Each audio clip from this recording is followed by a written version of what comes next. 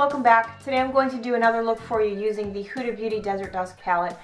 This palette I have been enjoying quite a bit. I really like it. It has fast become one of my favorite eyeshadow palettes. Last night I was responding to comments though, and I read a comment that there is a freaking dragonfly in my bedroom, a baby.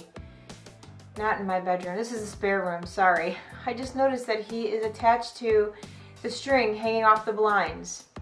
Hopefully he doesn't decide to buzz me. All right, anyway, so I was reading in comments last night that uh, because there was a change in ingredients here, a lot of people are having issues with this because they're allergic.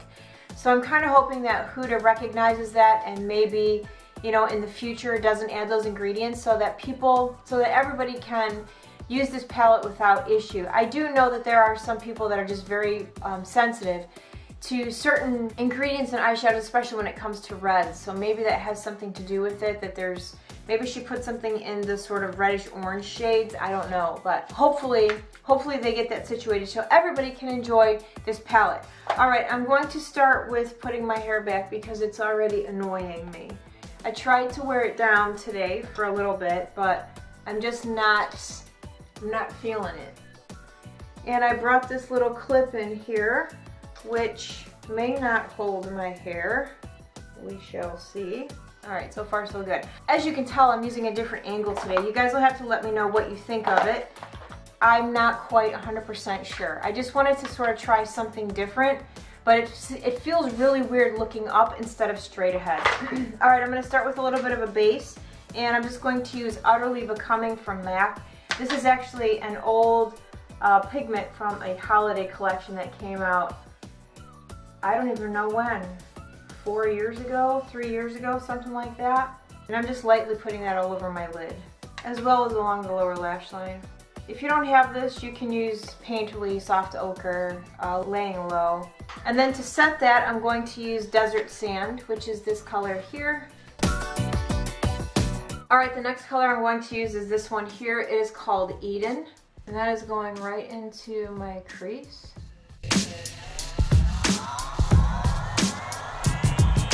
Shade is going to be this one here. It's called Amber. Same brush. I'm using a MAC 221. And this is going to go right into the crease as well. Into the crease and up onto the brow bone. Alright, the next shade I'm going to use is this one here. It is called Amethyst. Amethyst is a bit of a pinky purple shade. So that's going to go all over my eyelid.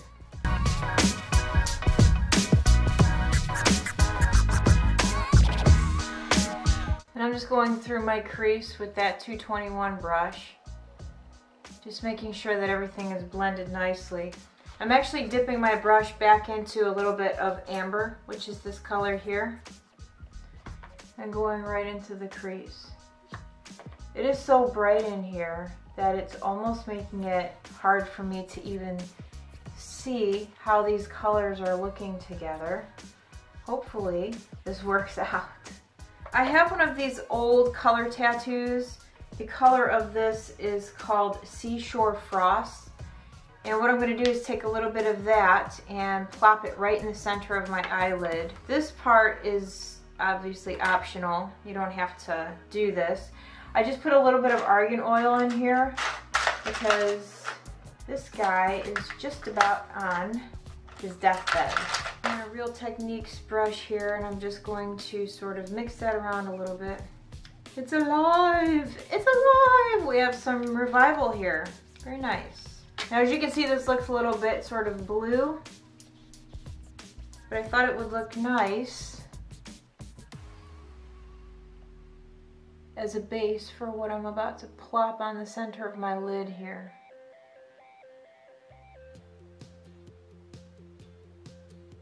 All right, and then over the top of that, I'm going to use this color here. It is called Twilight, and I'm just going to use my finger, and I'm gonna plop that right over the center. Ooh.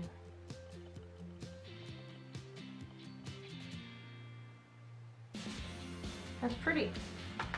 This look is definitely a little bit out of my comfort zone um, because first of all, I hardly ever wear purples anymore. I used to wear purple all the time. um, and especially pinky purples.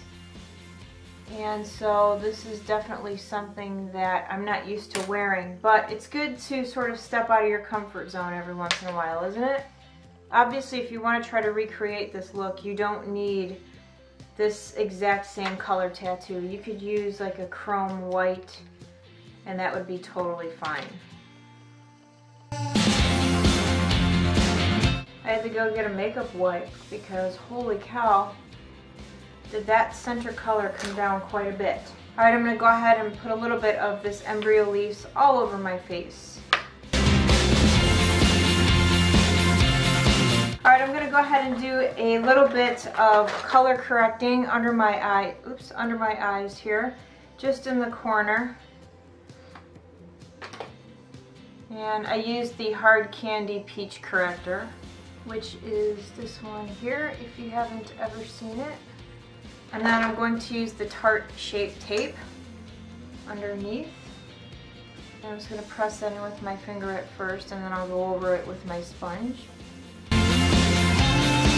Such a difference, look at that. All right, I'll come back and set that in just a second. For my foundation, I'm going to use the uh, Ordinary brand. This is the coverage foundation and this is a full coverage and I just put some on here and dot it around my face.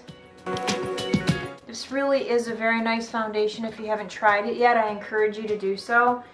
It's very inexpensive and in my opinion, good quality. Alrighty, four little dots of that around the face and I'm done. Now I'm going to go ahead and set my under eye area and I'm just going to use some of this Bye Bye It Cosmetics Bye Bye Pore. I almost gave this to Sarah because I just want my NARS so bad. but I was like, no, I'm not going to do that. I'm just going to keep it. I'm going to use it up. Alright, and then to powder my face, I'm going to use the Laura Mercier Translucent Setting Powder. And I'm just going to use that Beauty Blender, or not Beauty Blender, this is a cheapo TJ Maxx blender, which I have to say works better than a Beauty Blender. Tragic story though, the blender that Beth sent me for my birthday, my husband thought that it was an egg. I had sitting in a glass soaking in some Dawn dishwashing liquid because the stains just wouldn't come out. And I left it there. Well, he came in to do dishes and for some reason he thought it was an egg, dumped it down the garbage disposal and turned it on and destroyed my sponge. True story. Alrighty, face is nicely powdered. I'm gonna go ahead and fill the eyebrows in because I'm getting tired of looking at them like that.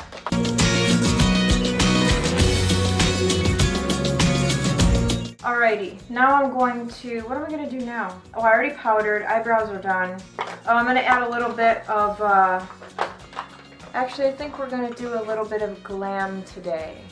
I don't normally contour. I think I'm just going to do something light. But I'm going to use the uh, Kevyn Aucoin sculpting powder and put a little bit of that right here. I'm not, not going under the bone, I'm going right on it, but I'm going a little bit lower. See there? And I'm not going very far because right here, the way my bone structure is, it's straight and then it dips in. So if I go too far, I get this weird sort of curve. So we're going to just keep it back here. And then I'm gonna pull it up. And that's that. That's as far as I'm taking that. And then I'm, I'm going to use, look at that, the Tanya Burr, what is this? This is the Rosy Flush Cheek Palette, and I'm going to use Beach Bronze. Now the one thing about this is it's, it's, it's kind of like a pinky, did you guys even see that? I'm going to use this bronze here, but I feel like this is more of like a pinky bronze. This isn't like a true bronze, so it kind of looks nice just all over the cheek like this. Can you see that? It seems more like a, a pinky brown. Is it supposed to be like that? Someone tell me. And for this, I'm going onto my actual cheekbone here. I should actually go get an actual bronzer. All right, so I just went and got my Laguna. And I'm going to plop some of this up here. And then I'm gonna go right along my jaw here.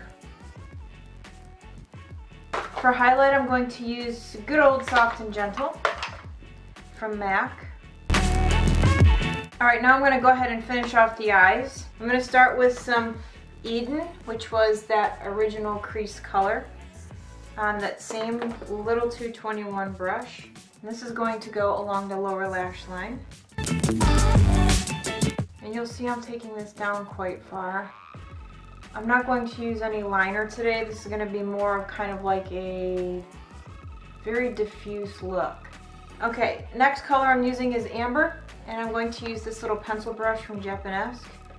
And this is going to go even closer to the lash line. Okay, and then into Amethyst. Same brush. All right, now I have the purple on. I'm just going to use that same 221 brush. I didn't wipe it off.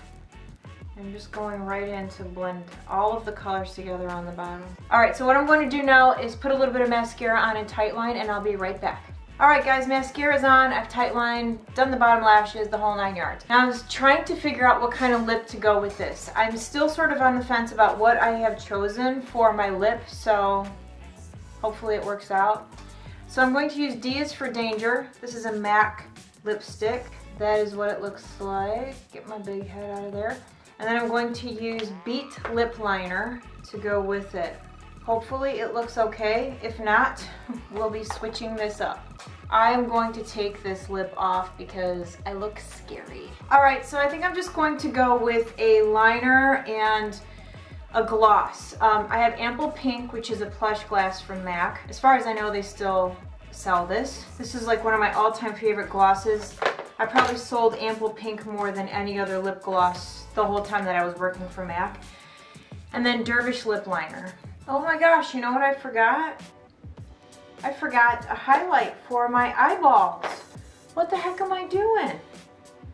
And I don't even know what to put in there for highlight. I have this Tanya Burr palette in front of me. Let's see what her uh, highlight looks like on the inner corner here. I'm probably gonna screw this all up, but that actually worked out quite nice. Alright, so that is it for today's look. I hope that you guys like what I came up with. This, like I said earlier, is very different for me. I stepped out of my comfort zone using these sort of pinky purples. I think it's really pretty. Probably not something that I would wear all the time, but once in a while it's nice to uh, do something different, right? But anyway, that is it. I wanted to say thank you to my new friends that have decided to stick around. I really appreciate you being here. If you guys have any requests or anything like that, please leave those down below. So that's it. So thank you guys so much for hanging out with me today. Have a great day, and I will see you all again very soon. Bye.